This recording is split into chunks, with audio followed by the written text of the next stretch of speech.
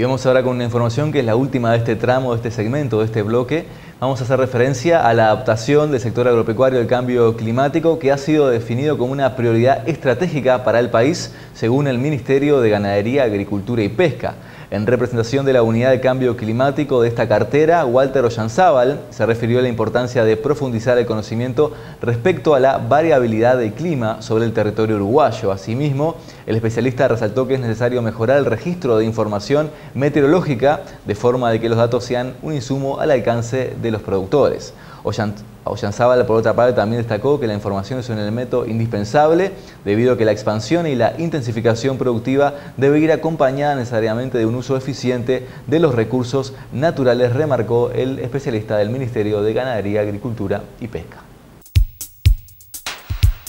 En el anuario lo que presentamos es un resumen de un conjunto de trabajos de investigación con los cuales pretendimos mejorar el conocimiento que tenemos para eh, eh, hacer un buen proceso de adaptación a la variabilidad y el cambio climático.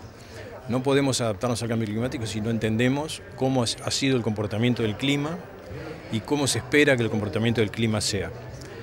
Eh, a su vez, la vulnerabilidad climática no depende solo de la exposición climática, también depende de qué tan sensible sea un sistema.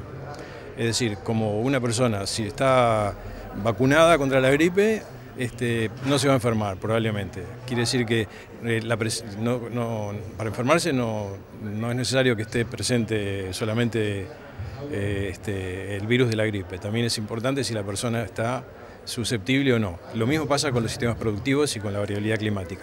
Ahora estamos con un diciembre muy seco. Bueno, aquellos predios que hayan manejado bien el pasto, y que tengan reservas de agua, van a pasar este periodo en condiciones mucho mejores que los que no este, lo hicieron, los que llegaron con tapices muy, digamos, con, poca disponibilidad de forraje. Haciendo referencia justamente a este punto, ¿cómo se visualiza el Ministerio de la Unidad de Cambio Climático que está hoy posicionado justamente los diversos sistemas productivos este, uruguayos ante justamente esta variabilidad climática y cuál es un poco la perspectiva?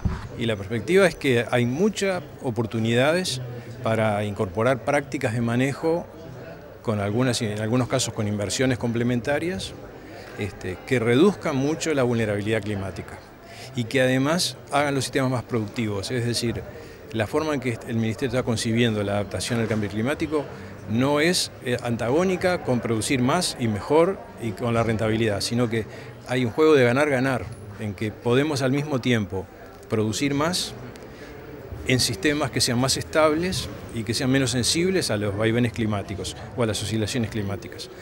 en, el, en el anuario estamos publicando resultados de los estudios de cómo se ha comportado el clima en Uruguay en relación a la variabilidad de la precipitación, si ha habido o no ha habido más periodos de déficit hídrico en, en los últimos años.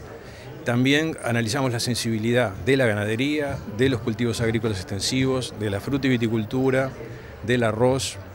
Y por último, identificamos opciones de adaptación e hicimos un estudio de costo-beneficio de esas opciones desde la perspectiva de un productor. Es decir, eh, le, conviene a un productor adoptar estas medidas o no? Esa es la información que está de alguna forma resumida en el anuario.